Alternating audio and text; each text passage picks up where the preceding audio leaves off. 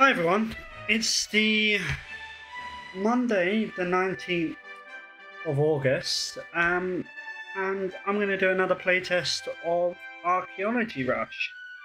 Now, um, I have still been working on this, uh, but I didn't release an update last week just because I was away, and conveniently I'll also be away next week, so I won't be pushing an update video.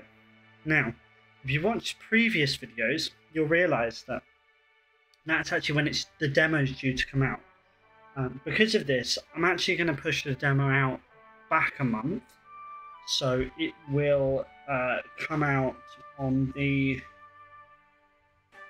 23rd of September is the uh, target date. It gives us another month to tidy things up and really get a lot closer. Now, that being said, you'll notice that uh, some of this is starting to look a little bit different. And we've got four pretty distinct silhouettes here. Um, we've got the usual Henry, and we've also got Amelia, but we also have two new characters. Robert, which is uh, he's a uh, army kind of veteran. He's sort of there as transport. Um, and we've also got Lily. And so I've actually been working hard in the last two weeks of getting these characters in.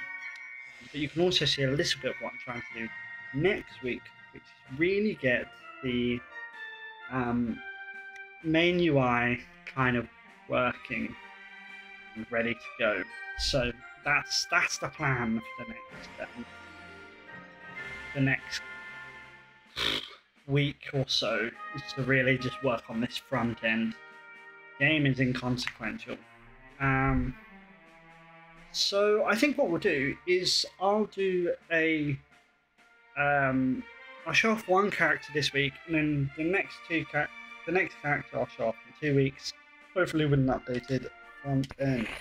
So this is Lily, um, and yeah, of course she plays exactly how the others play. Um, none of that has changed. Um, yeah, it's still the old, same old game mode. Now, something about the, the kind of post demo that I want to change is just add in new levels uh, so that they are kind of more randomly generated. Um, and so we'll be looking kind of level types. Yeah, we'll, we'll get there. Just a small, steady progress. Um, we're doing, uh, I think we're doing really well on just getting these characters in, and, and that was kind of a big, uh, a big part of just improving the game. Is that we needed. So a lot of this is about just improving the game, not necessarily to sort of improving it in, oh, this feature will be nice or X feature will be nice, but rather actually just kind of go, how can we make the game um, sort of just up to a standard? Um, and because we're missing those two characters, that's a very obvious standard to hit. Um, now we'll also kind of be just focusing on tidying things up and getting getting kind of the actual uh, getting actual people working. Interesting enough, uh, you actually notice some really interesting, um, some really interesting text there. Uh, back, back there, it just said, "Oh, I think two people are needed here." And that I think is just a perfect example of how I wanted the text system that I showed you off, showed off a couple of weeks ago, um, to work. Is to actually just to kind of give a hint about how something might be able to be completed. Yeah, that's the end. Um, a little bit of a shorter video again, but yeah, really kind of moving on, getting it done, tidying things up, getting this demo complete. Um, brilliant. Thank you for watching.